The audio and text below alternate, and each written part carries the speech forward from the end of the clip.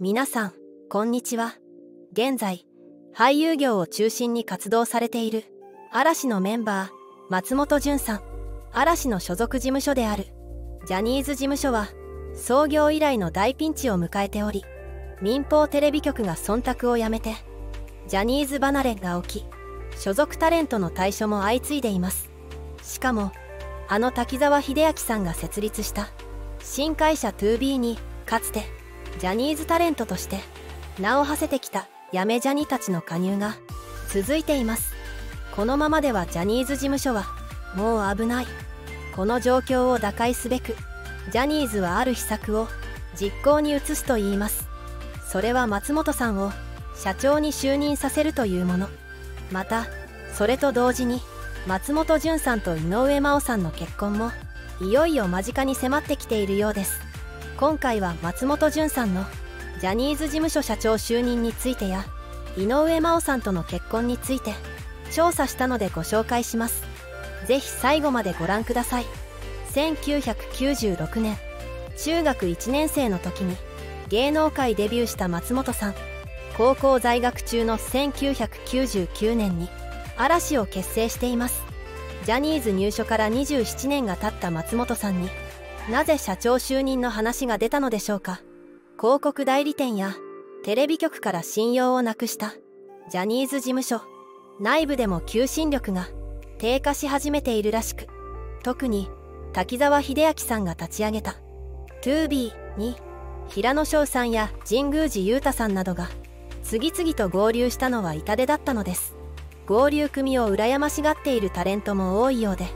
ジャニーズ事務所では対処者が今後も続出しそうです。商売道具のタレントたちが流出するのをどうしても阻止したい。ジャニーズ事務所経営陣の間ではすでに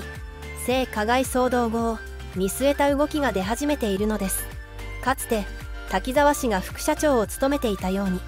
きちんと肩書きをつけて松本さんに経営に参加してもらい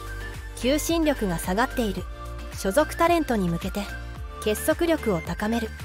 そしてさらに好感度が高い松本さんを使って世間にアピールする狙いがあるようです。好感度といえば松本さんはかねてより交際の噂があった井上真央さんとの結婚がささやかれています。井上真央さんとは「花より団子」での共演以来熱愛関係が報じられるようになりました。一時は結婚間近ともささやかれていましたが破局が伝えられました。しかしその後も2人の関係は続いていたようです。松本さんは NHK 大河ドラマ「どうする家康」で主人公の家康役を熱演していますが実はこの放送後に2人の結婚発表があるのではとも言われていました。しかし3月にイギリス BBC 放送でジャニーズ事務所創業者ジャニー喜多川氏の性加害問題が特集されたことがきっかけとなり告発者が次々に現れる騒ぎとなりました。そんな雰囲気の中ではとても結婚発表などできないと改めて発表に「待て」がかかっている状況とも伝わってきています。しかしそれでも発表を強行するのではという見方もあります。ジャニーズのイメージダウンが激しい現在。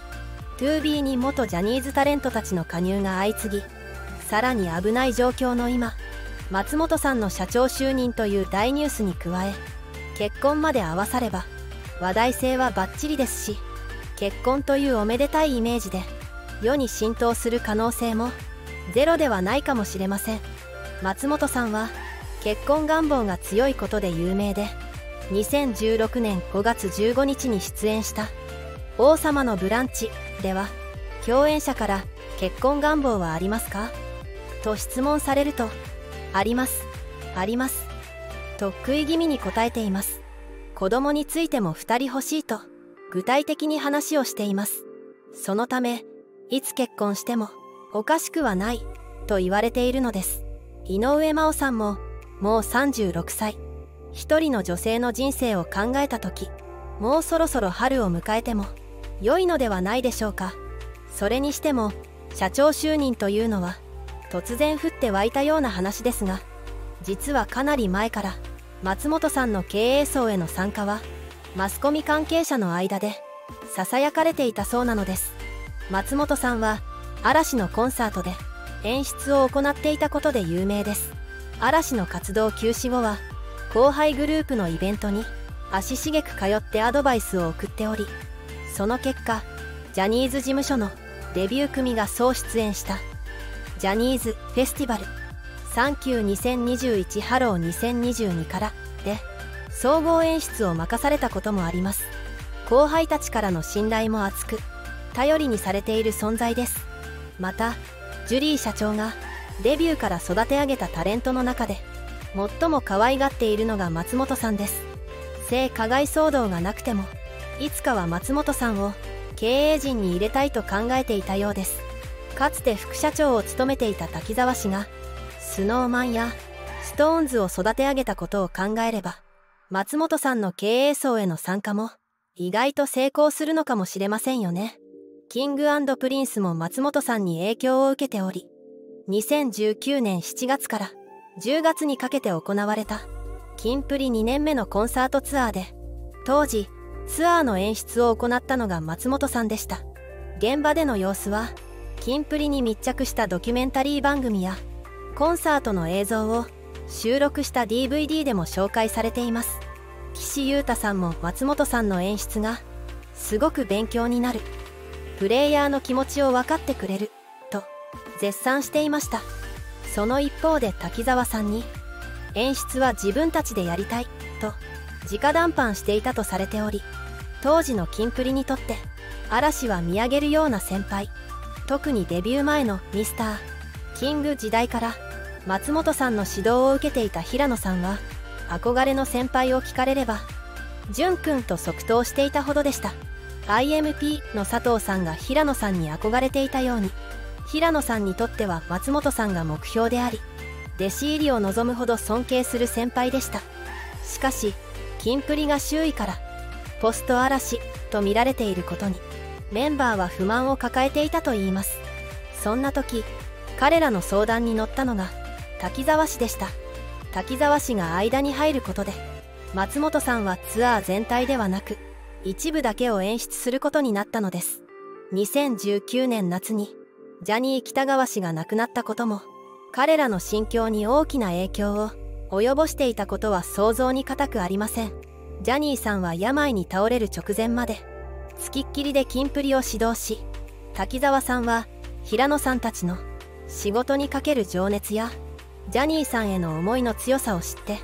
感心しきっていたといいます。平野さんたちが滝沢氏と合流する布石は4年前から打たれていたんですね。松本さんの経営陣への参加は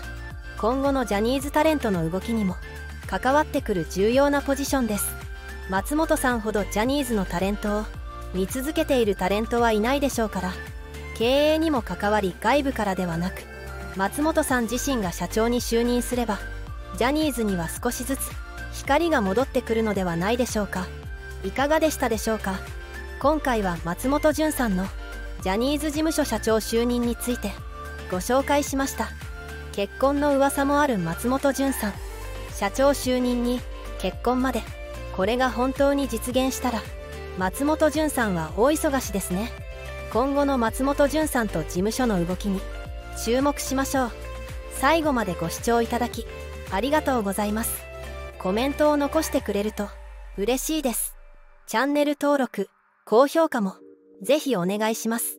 それではまた。